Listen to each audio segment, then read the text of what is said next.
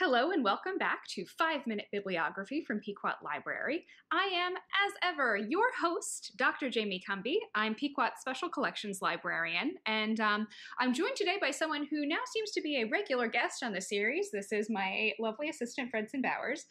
And um, we're going to talk to you a little bit today about how the very first presses worked. Uh, we're going to do something a little bit different in this video. I'm going to cut in a moment to some slides that I put together because what I want to do is to walk through the way that um, these presses were constructed and how they functioned using images that were actually made in the early modern period.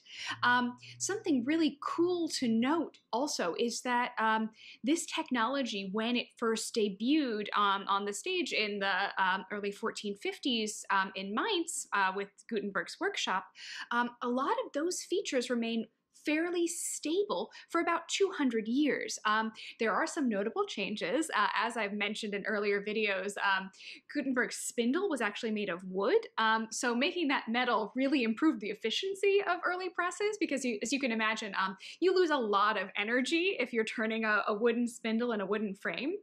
Um, but without further ado, uh, let's dive right in and look at some images of, uh, of presses. So what we're looking at here is the very first printed image of a printing workshop. Um, this is from 1499. It's from a book of the Danse Macabre, the Dance of Death, um, produced in Lyon um, by Martin Huss. And um, what we're seeing here, in addition to the fanciful skeletons, is um, also the uh, the moving pieces that make up a print shop. On the far left, you see your compositor hard at work. You see in his hand he has his composing stick, and next to him is the form that he's going to um, set his text into. And that form is going right over to the right of him to the printing press as it stands. And here you see um, right behind the skeleton who's pointing his finger, you've got um, a jolly fellow um, holding what looks like a big powder puff. That's actually an ink ball. That is for inking the form. And the gentleman who's being pulled along by the pointing skeleton is the pressman. He's the one who actually turns that, um, you see that spindle there? He's the one who's creating the pressure that prints the image onto the page. And um, all the way over to the far right, you have your bookseller, but um, we're just going to zero in now on um, our inkman and our pressman and the press that they're operating.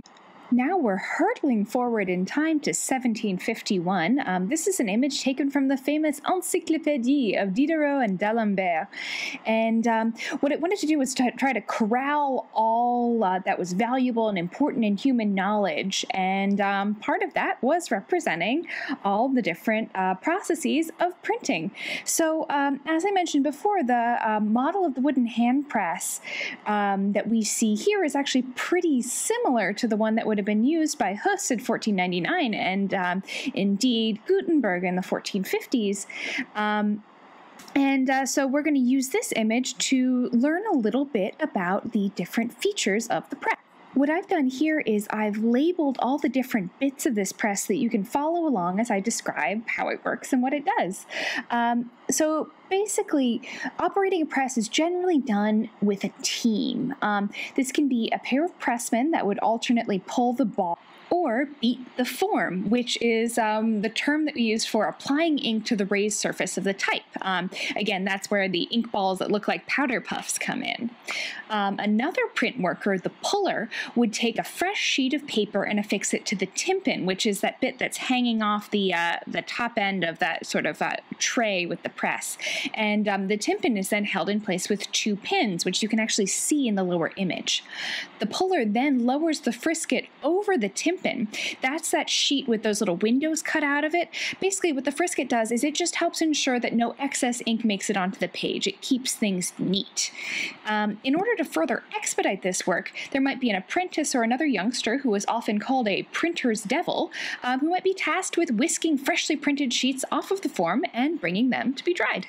So, the kind of central action of the work, the actual pressing of the image onto the sheet of paper, is done uh, by pulling the bar. That moves the spindle, that lowers the platen. This is kind of a heavy rock, um, and that is what creates the pressure that um, creates that transference, um, that allows the relief print to be made.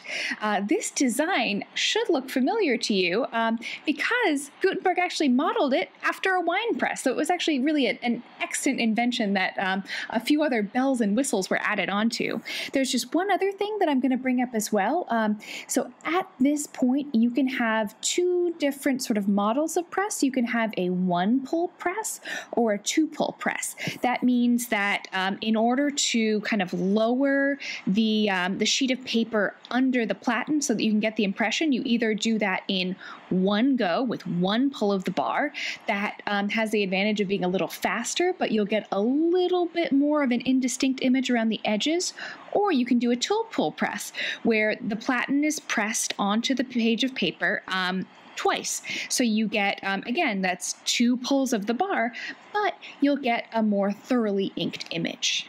I should mention that when you're using a two pull press, you're not um, impressing the image twice. You're impressing half of the image and then the other half of the image. And um, the uh, the sheet of paper is positioned under the platen with the crank of a screw, which actually you can see in the lower image again. Um, so that's yet another moving part of um, the process. It gets a little bit more complicated, not a ton more complicated, but um, there's this added element that um, you see, which adds some variance.